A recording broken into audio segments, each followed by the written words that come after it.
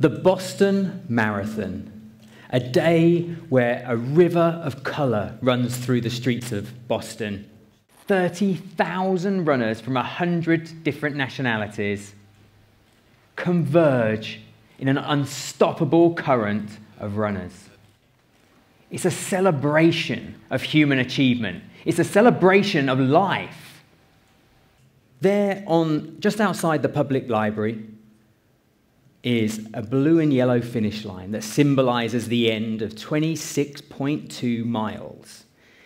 It's there on the street 24 hours a day, seven days a week, 52 weeks a year. The people of Boston are so proud of it.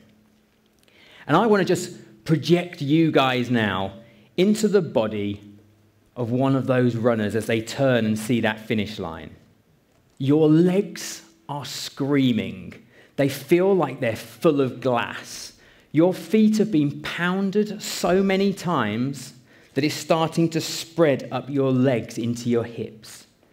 Your buttocks have been chafing for 10 miles.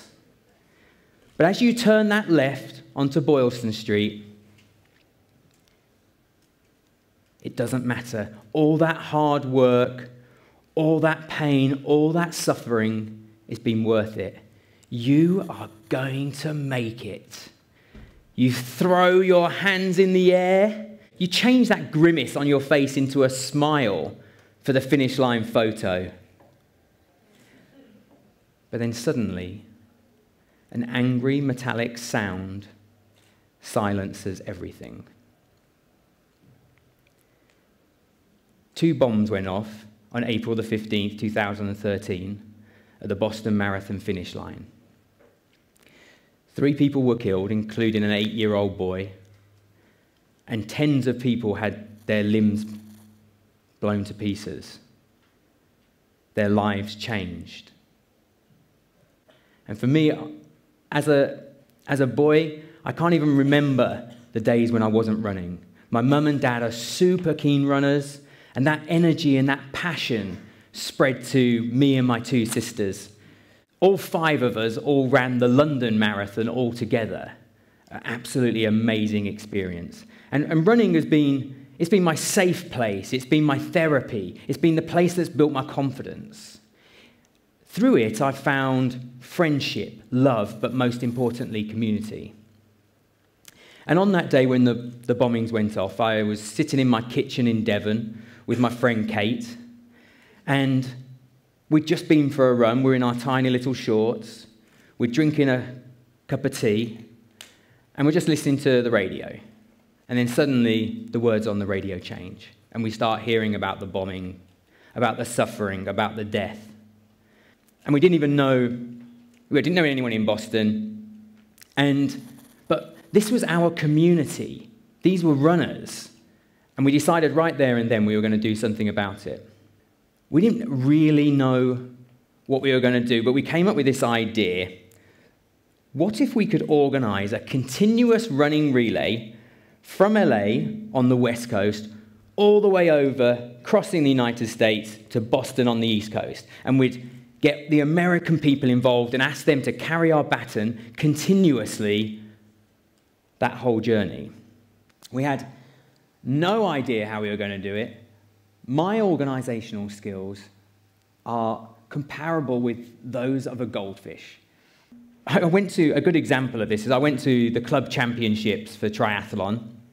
I drove um, um, an hour there. I arrived and realized I'd forgotten my bike. But not only that, I brought one of my size 9 running shoes and one of my mum's size 5 running shoes. It really didn't bode well. But we started simple. We broke that 3,300 miles up into 10 mile segments. We put it onto our website, put it onto social media, and we hit share. And we hoped the American people were going to sign up. We, work, we were working kind of 18 hour days. We were contacting as many people as we possibly could. We were contacting running clubs, media outlets. We even phoned up some businesses on the course and said, I don't suppose any of your staff like running, do they? And, but after three days, no one had signed up. We hadn't got any traction, and we were starting to get worried. But then on the fourth day, we got our first sign up, Ian Russell. And soon after signing up, Ian Russell sent us a, a message saying, Ian Russell reporting, ready to support and spread the word. And Ian was an art curator by trade, but for us, he quickly became, became our marketing executive. He started talking about it, he started sharing it. Someone he knew, Sandra, in LA, saw it, signed up, and wrote to us saying, I love running, I'm here to help. She knew a guy, Keith, from work. Keith signed up. He knew a guy called Paul from football. He signed up. And it continued. And every single one of these runners that signed up said they wanted to help. And, and suddenly we've got a whole team working on it. And I think back to that first moment when Ian signed up, and I, I wonder about would he have believed me if I'd said to him that within seven weeks of the bombings happening, we'd be setting off from LA with thousands of people already signed up, that we would create a movement that would unite a nation, that we would create a community that would change hundreds of people's lives, that four weeks after we set off from LA, the American people would have carried that baton without stopping once across the United States, and it would have arrived in Boston. And even more than that, that we would have raised over half a million dollars doing so. Would he have believed me? Of course he wouldn't. But that's exactly what happened. Everything that happened was down to the community. Everyone only ran 10 miles, but together they crossed a nation. Every dollar that was raised was because we worked together. Every life that was changed was because we worked together. And I guess what I'm here to say is let's stop striving as individuals and let's start striving as a community together. Because together we are infinitely more powerful. And I want to tell you just one story from the relay. This is Nicole, Nicole Reese. She'd been running in the marathon on April the 15th. At 23.2 miles, she turned the corner and she was met with a wall of policemen. And the policeman said to her, The marathon's cancelled, there's been an incident and took her with the other runners into a park where they were told to wait. They had no idea what had happened. This is John Odom. And John Odom had flown over for the same marathon. He, he was standing at the finish line there to cheer his beloved daughter in her, her very first marathon. And unfortunately, John was in, involved in the blasts. And he was thrown to the floor and found himself lying in a pool of wetness. He looked down, and both of his legs had been blown to pieces by the blast. And then he realized that the wetness he was lying in was his own blood.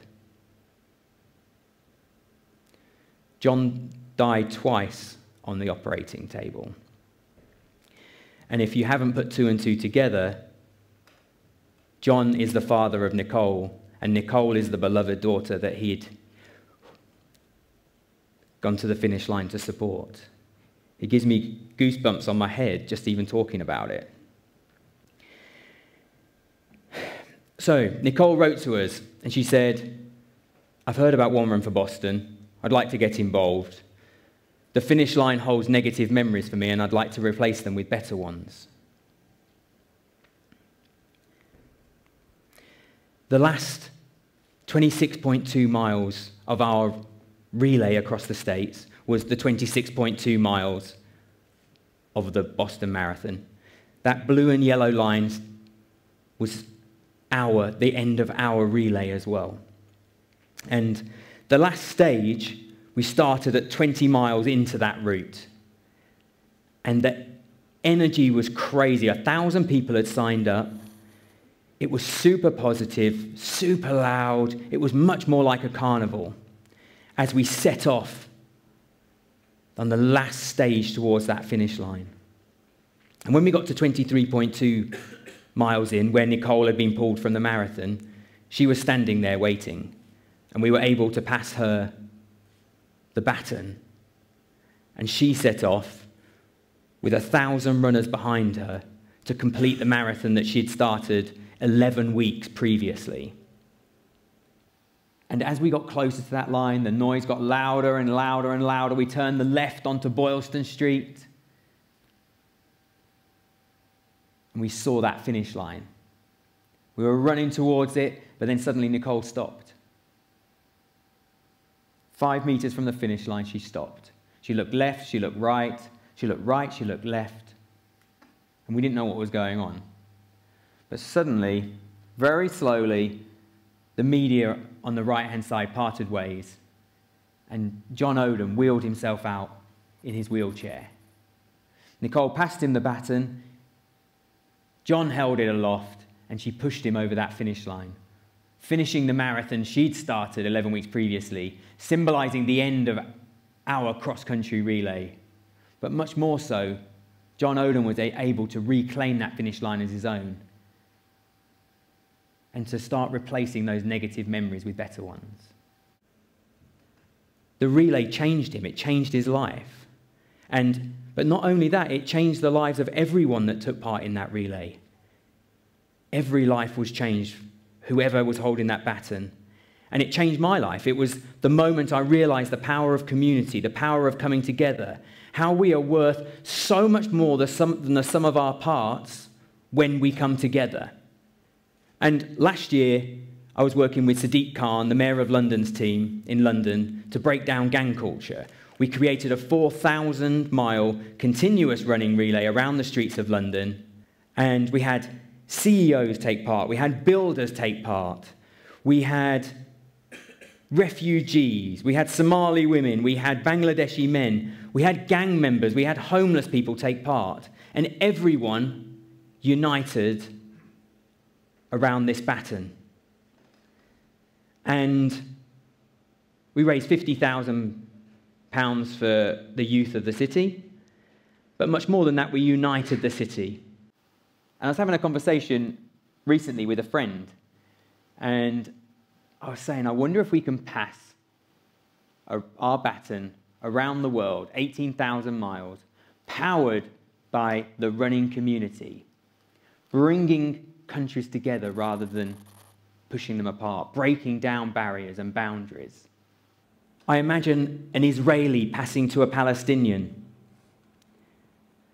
I imagine a Ukrainian passing to a Russian, bringing people together rather than breaking them apart. And I, I know it's, like, it's a huge idea, but if history has taught me anything, it's that together we can create the incredible. Thank you very much.